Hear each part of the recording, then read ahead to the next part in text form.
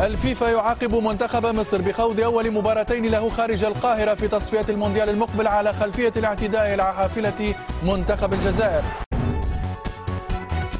البداية إذن بقرارات الفيفا حيث أقرت لجنة الانضباط في الاتحاد الدولي لكرة القدم عقوبة على المنتخب المصري بخوض مباراتيه المقبلتين في تصفية كأس العالم 2014 خارج القاهرة ب 100 كيلومتر على خلفية الأحداث التي رافقت مباراة منتخب مصر والجزائر في الرابع من نوفمبر تشرين الثاني الماضي. كما عوقب الاتحاد المصري للعبة بغرامة مالية بلغت 100 ألف فرنك سويسري أي ما يعادل 87 ألف دولار أمريكي بعد الاعتداء على حافلة المنتخب الجزائري في القاهرة. بالمقابل اعتبر الفيفا شكوى الاتحاد المصري ضد الجزائر بما سمي بأحداث أم درمان بغير المؤسسة والتي اشتكى فيها المصريون من اعتداءات جزائرية على جماهيرهم في الخرطوم.